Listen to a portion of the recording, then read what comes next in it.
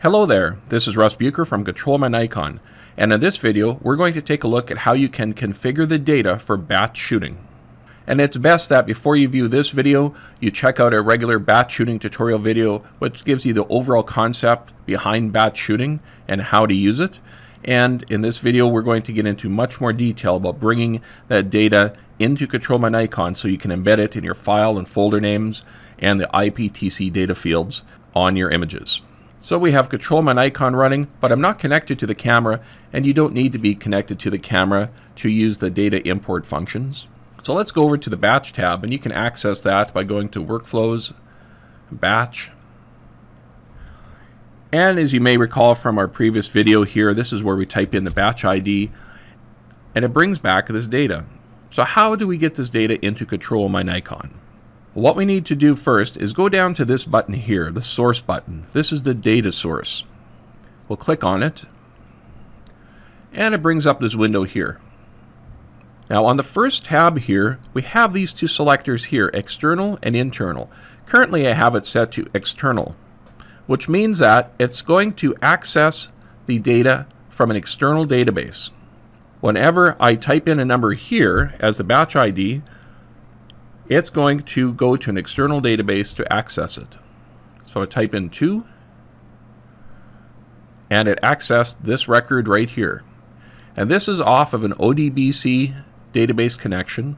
If you're unfamiliar with ODBC data connections, it's best to contact your database administrator and they'll set one up for you. So this is one way to get data. You just go out and query another database. You don't even have to import data into Control My Nikon. And this ODBC database can be a Microsoft SQL Server database, which in this case is what we have, or an Oracle database, or maybe even an Access database. And we'll take a look in a moment how we set this up. Now the other option is internal. So this queries data that we have imported into Control Nikon.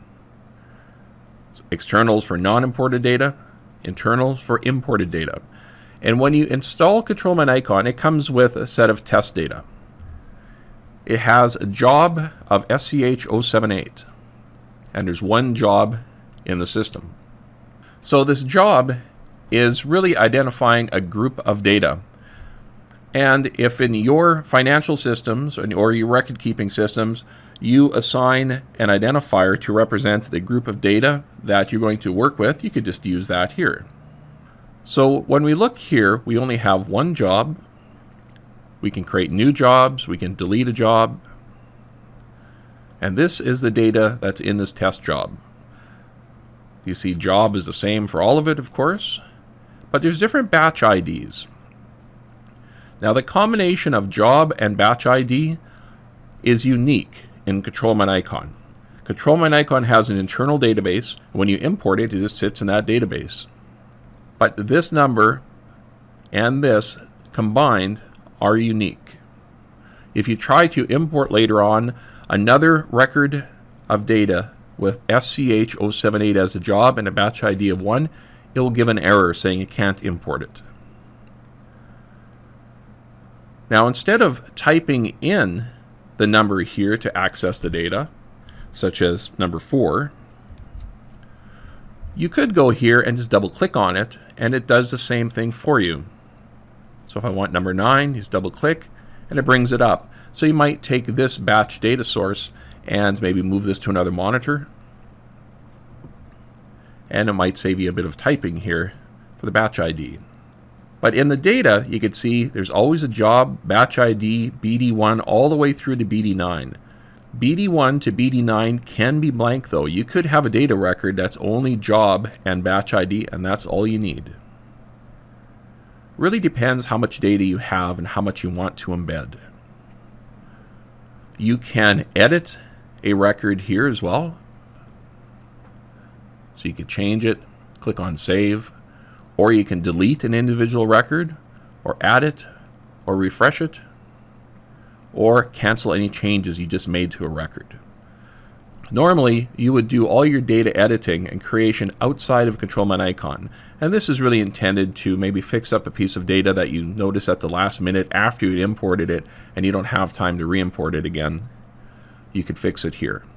Now when dealing with the database, we also have the SQL monitor. And this will show any communication between Control My ControlMyNikon and the database, whether it's the local database or the external database. So here when I switch to external, here's the query that was sent to this ODBC connection. And when back internal, here is the command that was sent to the local ControlMyNikon database. And the local ControlMyNikon database is an unencrypted Firebird database. So if you import a bunch of data here, and maybe it's sensitive data, ControlMyNikon is not going to hide that data really from anybody. Data that you query from an external database that is not imported in ControlMyNikon is not stored in ControlMyNikon at all other than it may be embedded in the IPTC or file and folder names. Okay, back to the internal database. Now when we have data like this, we can print barcodes. So if you have a barcode scanner, this is real handy. So we have four different barcode reports. We have a one column report. So here's your barcode. And the barcode looks very small here because the number is small. When you have a large number, the barcode itself gets much physically larger. And here's the data. If you had more data, such as up to BD9, it would appear under here. So before you go on your shoot, you could print these out, take them with you. So with your barcode scanner, you could just scan this piece of paper. Let's take a look at our other barcode reports. A two-column report, and sometimes you might want to print this one and uh, just print these out and you might hand these to people Three column. Not enough data yet to wrap to the third column. And you could zoom in and out. You could print these. And you can also save it as a PDF. So if you wanted to generate the barcodes and then send it to someone, maybe via email and have them printed out, you could do it with this PDF.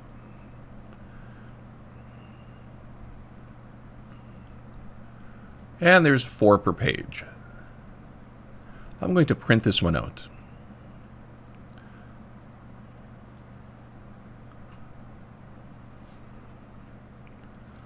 Now you can also print out your data without barcodes.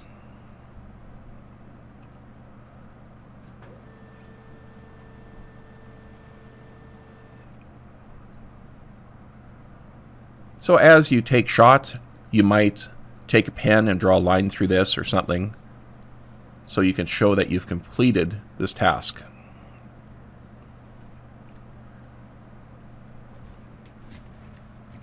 Okay, I have it printed out and I have configured a barcode scanner in the preferences menu and we're going to try scanning this and you'll see that by scanning it the batch ID will automatically be entered and the data will be selected.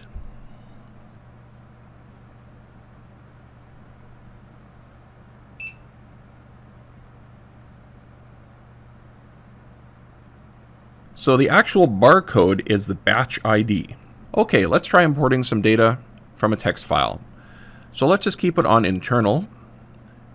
Then click on the internal tab. You can see we have two tabs here. One's for importing from a text file. The other one's importing from another ODBC database. So let's click on Open File and select this one first, batch data example 1.csv.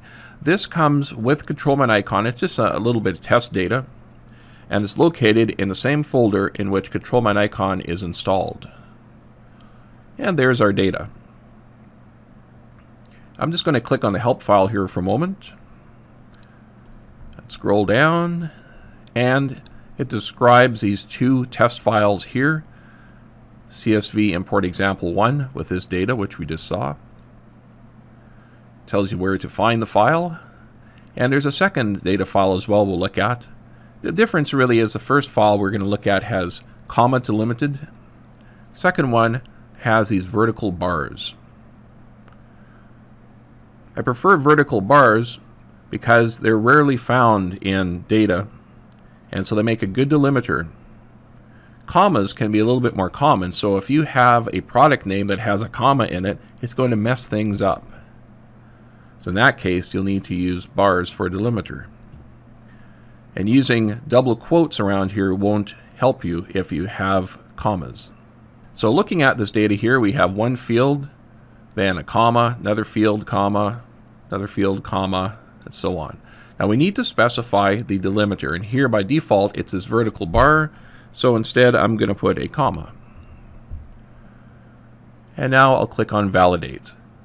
Now validate just looked at this data, looked for its delimiters, and it'll let you know if it found any problems with this data. It'll show you here. So now it tells us to post. We haven't entered a job yet, but when you click on post, it'll prompt you for it. So let's type it in. So we'll just call this drinks.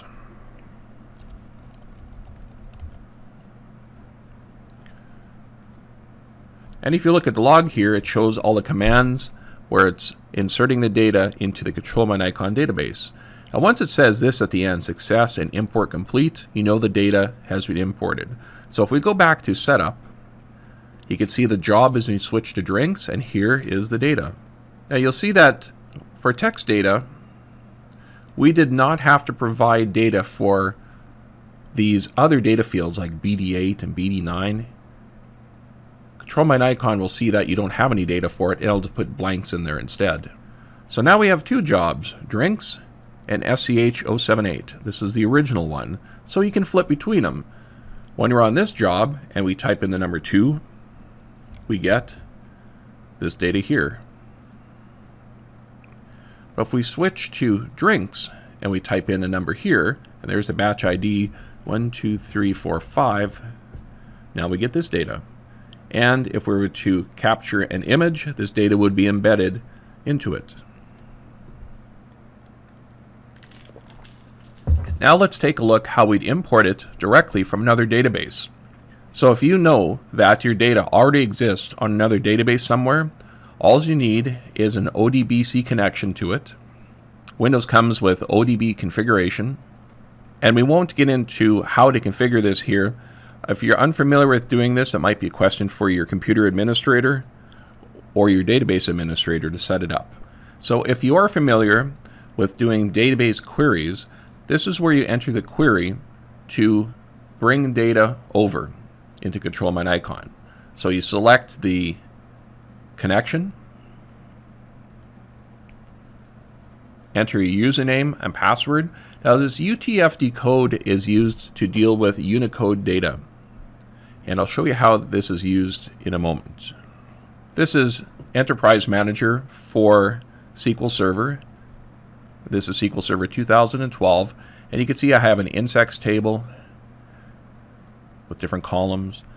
I have a product table with different columns. You can see some data here. So this database is running on this computer and we'll use ODBC import to pull data from this and bring it into ControlMyNikon. So I'll bring up the SQL monitor.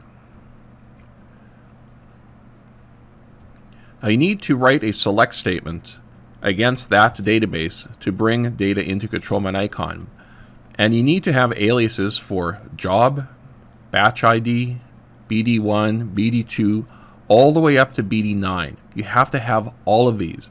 Even if there's no data in, say, BD9, instead of putting null here, put just empty quotes, an empty string. Now you could test it by clicking on execute and if it succeeded, it will show you the data here. This is the data under job, batch ID, BD1, BD2, BD3, BD4, and then blanks here.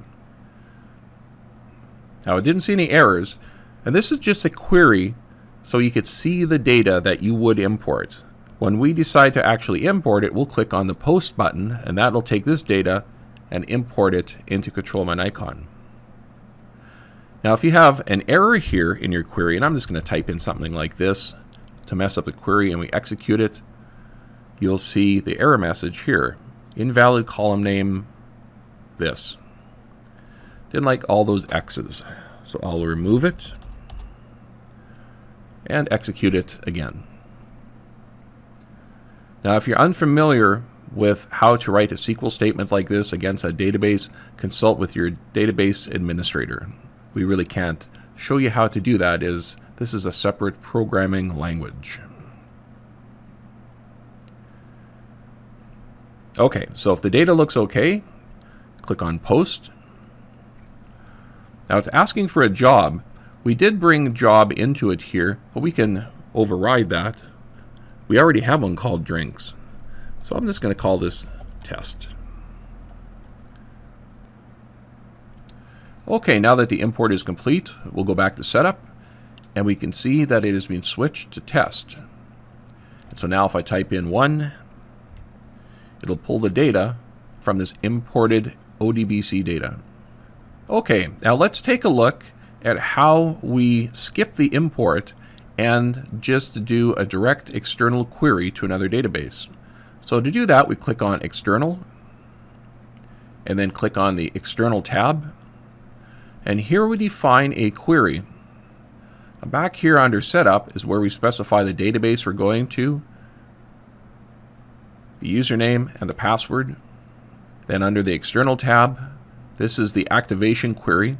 So when a person types in a number here, it's going to pass it here in the query and return this data. And you could test it here. So you type in a batch ID, click on execute, and it finds this data right here. Let's try this one.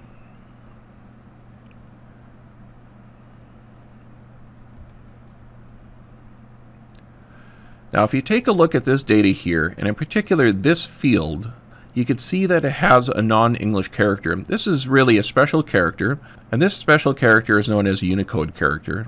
So sometimes when you read character data like this off a database, it will not translate it properly and you'll get a funny looking character. So let's try it. Let's type in 3 here.